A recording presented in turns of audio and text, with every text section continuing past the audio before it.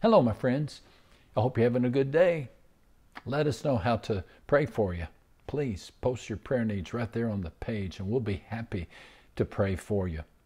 You know, we're continuing our revisit of the 316 series based on my book, 316.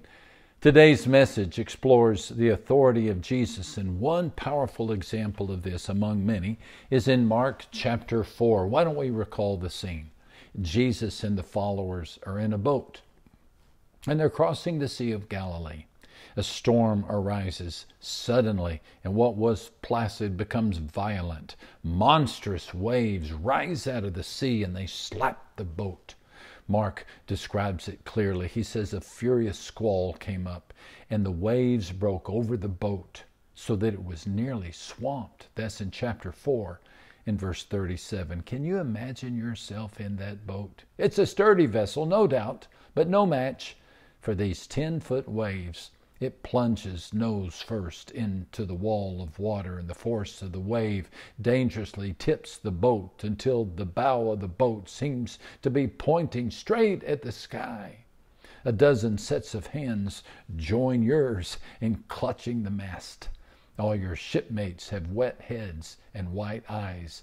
You tune your ear for a calming voice, but all you hear are screams and prayers.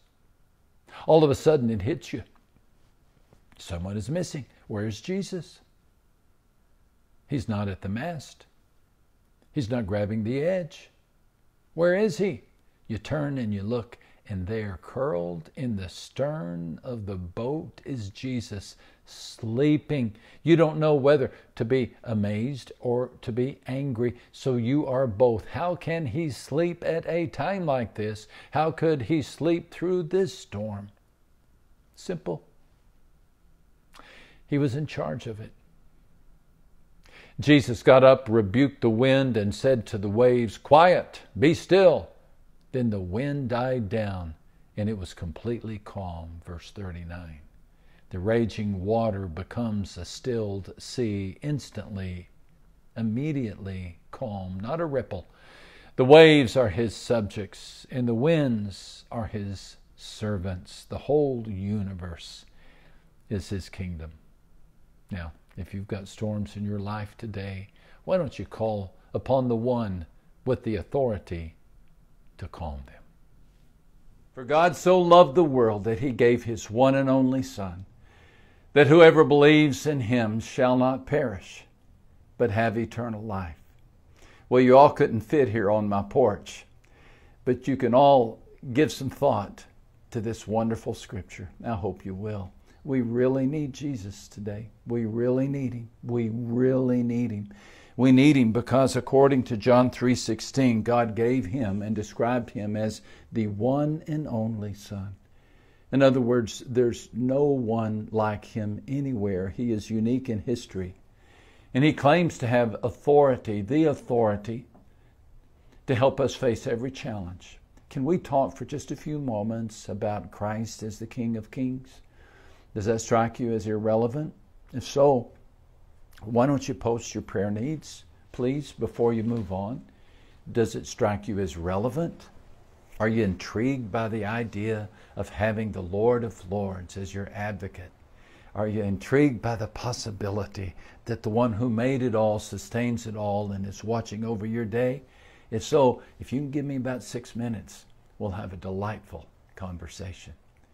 Here's what Jesus said He said this in Matthew 11 My Father has given me authority over everything. Everything. And then he goes on to say, No one really knows the Son except the Father, and no one really knows the Father except the Son, and those to whom the Son chooses to reveal him. That's Matthew 11 and verse 27.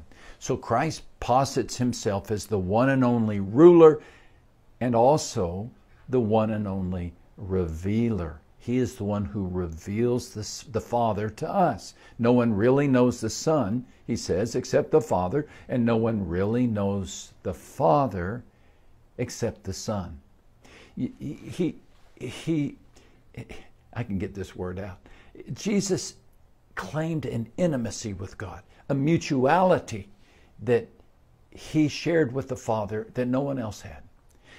I think we married couples get just a little bit of this. You know, married couples finish each other's sentences.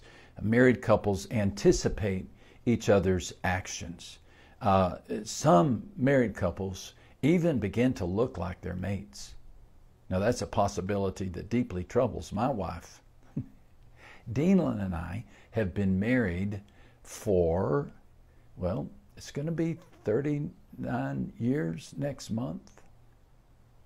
We no longer converse, we communicate in code. She walks in the kitchen and she sees that I'm making a sandwich, and I say, Denalyn, and she says, No, I don't want one. I don't have to finish the sentence. I'll open the fridge and I'll stare for a few moments and I'll, I'll say, Honey, and she'll look at my sandwich, what I've gotten prepared thus far, and she'll say something like, Well, the mayonnaise is on the top shelf, pickles are in the door. She knows what I'll say before I say it. I say it consequently. She can speak on my behalf. She can speak with credibility and authority. You know, she says Max would prefer a different color, or Max would approve of this idea. Well, then listen to her. Listen to her. She knows what she's talking about. I mean, she qualifies as my proxy like no one else. How much more? How much more does Jesus qualify as God's? You see, Scripture says that Jesus exists at the very heart of the Father, and He has made Him as plain as day. I love that translation of John 1:18 from the Message. So when Jesus says, My Father's house has many mansions, well, we can believe him. We can count on it. He knows. He's walked them. when he says, The eyes of the Lord are on the sparrows, well, we can trust him. Jesus knows. He has seen the eyes of the Lord. When Christ declares, Your Father knows the things you have need of. Matthew 6 8. Believe it. After all, he was in the beginning with God. He was in the beginning with God. So Jesus claims to be not a top theologian, not an accomplished theologian, nor even the supreme theologian, but my friend, he is the only theologian. He says, No one knows the Father except the Son. No one.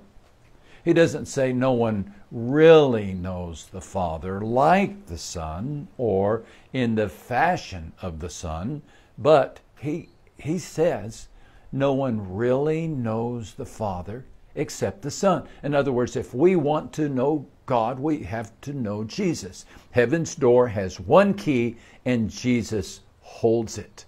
He holds it. And gratefully, the one who holds that key offers to open the door for you and me. Now, these are dramatic words that Jesus states. They are. These are words that have caused people to turn away from him. Overstatements, they say. Impossible, they say. And yet, the reason we can believe them and I'll say the reason I believe them is because of the empty tomb.